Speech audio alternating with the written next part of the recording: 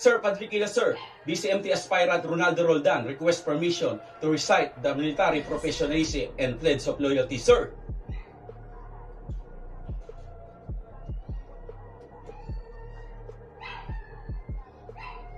Military professionalism. Men who adopt the profession of arms submit of their own free will to a law of perpetual constraints of their own accord. They reject the right to live where they choose, to say what they think, to dress as they like.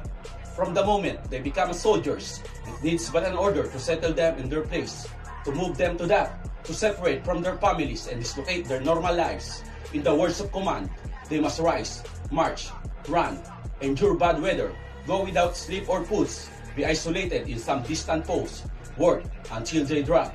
They have ceased to the master of their own fate.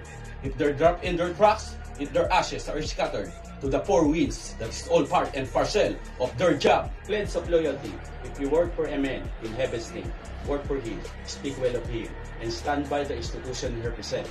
Remember, an ounce of loyalty is a worth a pound of cleverness. If you must grow, condemn, and eternally find fault, resign your position. And when you are outside, down to your heart content. But as long as you are part of the institution, do not condemn it. If you do, the first high winds that come along will blow you away, and probably you'll never know why.